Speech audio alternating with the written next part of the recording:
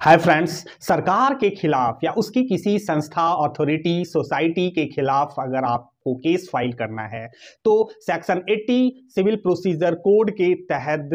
उस अथॉरिटी को उस संस्था को लीगल नोटिस भेजना होगा उसके दो महीने के बाद आप कोर्ट में केस फाइल कर सकते हैं